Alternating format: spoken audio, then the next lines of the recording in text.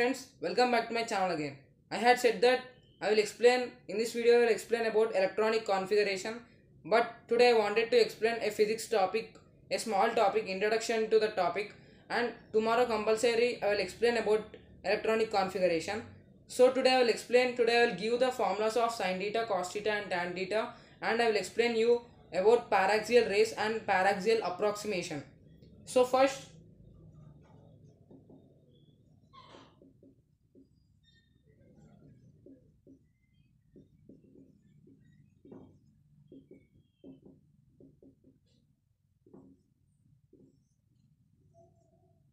So friends, if we observe this is a triangle, a right angled triangle.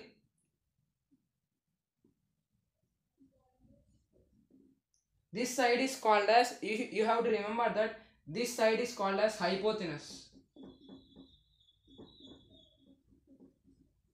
The longest side of this right angle triangle, this called as hypotenuse.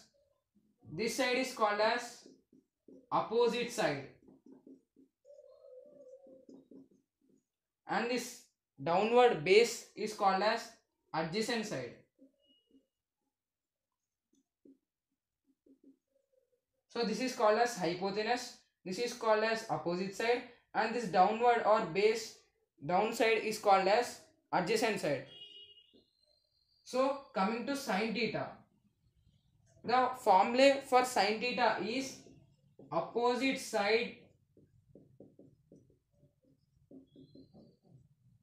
by hypotenuse. Formula for cos theta is adjacent side by hypotenuse and formula for tan theta is opposite side by adjacent side. So friends, you need to remember these three formulas. Now I will explain you about paraxial rays. Explain you about paraxial rays.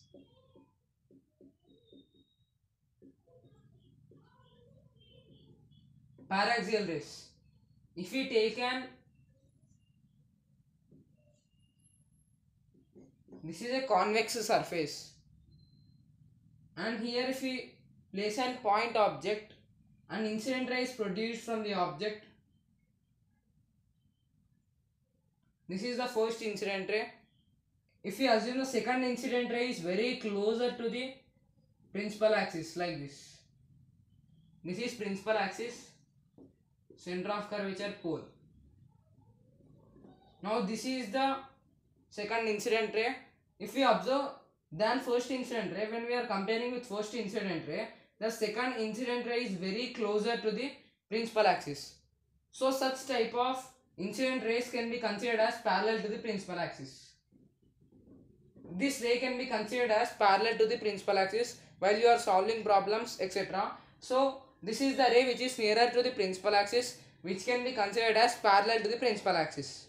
Paraxial rays are nothing but the light rays or incident rays which are nearer to the principal axis can be considered as parallel to the principal axis. So this, this is called as paraxial rays the light rays or incident rays which are very closer or which are very nearer to the principal axis can be considered as parallel to the principal axis. So this is about paraxial rays. Coming to the paraxial approximation, the paraxial rays which are considered make angle with principal axis which is very small. Those paraxial rays will make an angle with the principal axis means they will make the small angle and let us assume this that angle is theta. If we assume the angle made by the paraxial rays, the smaller angle made by the paraxial rays with the principal axis is theta, sin theta will be equal to theta, tan theta will be equal to theta, but cos theta will be equal to 1. if you do not have idea about this we need to just remember these values then it will be very very easy. So the the rays the paraxial rays will make a smaller angle with principal axis is called as paraxial approximation. This is called as paraxial approximation. My friends i hope you like this video. Please do like and subscribe to my youtube channel. Thank you